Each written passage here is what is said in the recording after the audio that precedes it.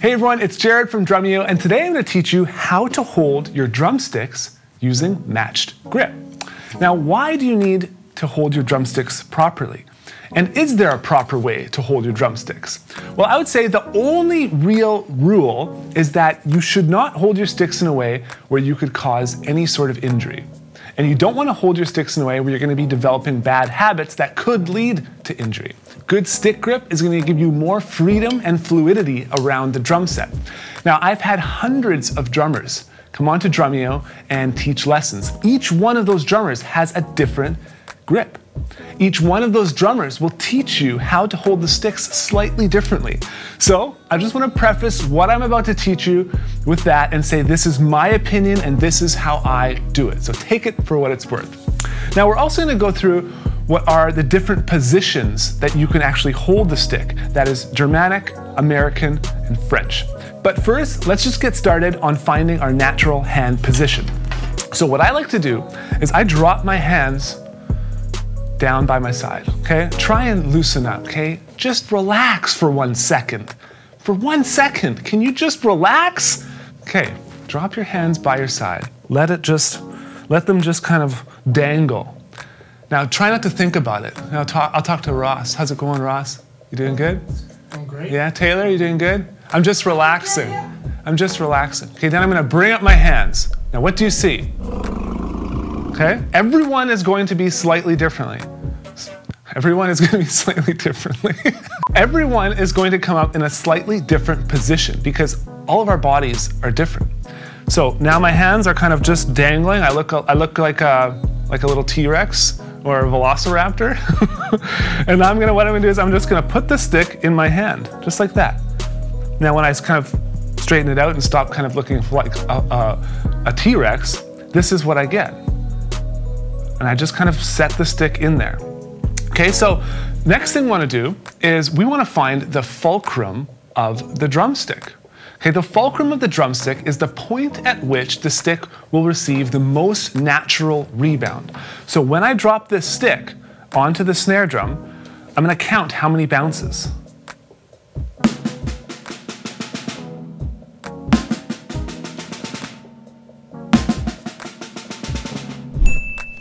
So I'm getting eight to 10 bounces. If I hold the stick higher, I'll get less bounces. If I hold the stick farther back, I'll also get less bounces.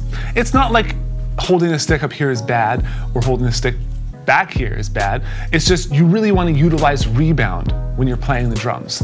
So I sometimes hold the stick back here if I'm looking for more power and don't care about the rebound. That's up to you to make that decision, okay? So on these sticks, it's kind of in between the H and the, the flag right there. Okay, now you can choose between different fulcrums. You can choose to have a middle finger fulcrum and use the index finger more as your guide. Or you could choose to kind of have a, a fulcrum kind of in between those two. It doesn't work as good, you can't get as much finesse out of the stick. Or you can choose to have this as a fulcrum and just wrap the fingers around it. So basically within the first joint of this index finger. Right? Then I wrap my fingers around there. Now, lot, I've seen some teachers say, you know, you want to be able to fit this stick through here, the soft, fleshy part of the hand, right? And you want to have this space. You don't want the stick being choked, and you don't want the stick um, hitting your wrist like that. I would say a good rule is try and make the stick line up with this soft, fleshy part. I love that term, soft, fleshy, okay?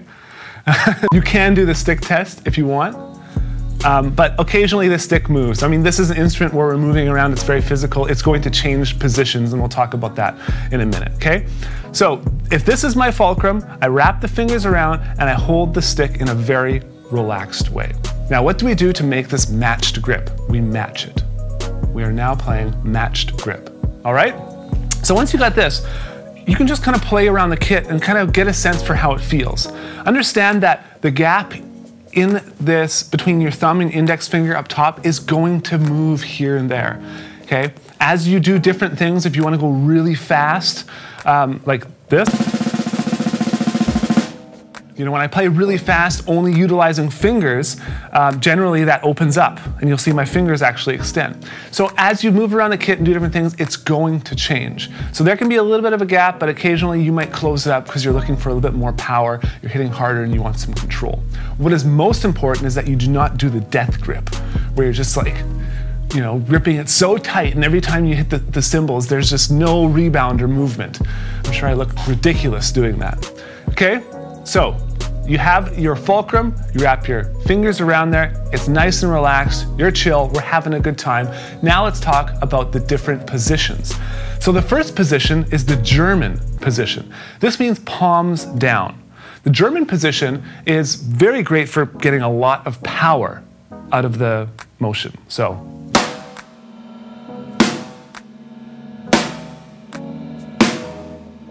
The second position is the American position. All we do here is we just turn it slightly. So this opening kind of shoots up that way. You see? This is your rocket launcher. It's going over there. Same on both sides. American position. This you'll find is going to be one of your base positions most likely. I don't see a lot of people playing exclusive German um, or exclusive French, which is next, which is thumbs up. Thumbs up, you saw me play some fast uh, finger control. If you're doing stuff on the ride, intricate stuff, you'll play thumbs up.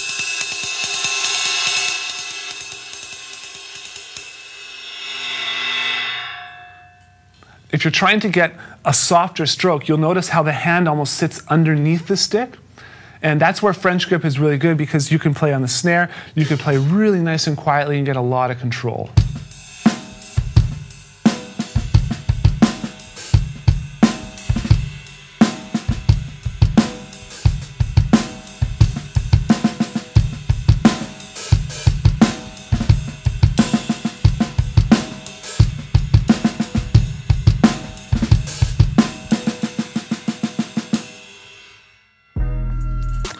So it's just important to be aware of those different positions. You'll notice as my body moves, I naturally will turn my hand, right? But you can, if you don't want to turn your hand, all of a sudden you're over here and now your elbow kind of comes out a little bit. And you want to play in a German grip, you get a lot of power on that floor tom, that's where you have to kind of make those adjustments. But like I said, the only real rule here is to don't play in a way that's going to cause you any sort of injury because this is an instrument where we do things in repetition. We play on the hi-hat, on the ride, constantly. So it's important that you're not doing anything that's gonna hinder your ability to play for the rest of your life. So that is how to hold your sticks using matched grip. So now I wanna ask you, when you first started playing drums, did you get a lesson on how to hold your drumsticks, whether that was online or whether that was with your private instructor? Did someone teach you how to hold your drumsticks? Nobody taught me, and I wish they did. Go ahead, leave the comment below, and I'll see you in the next video.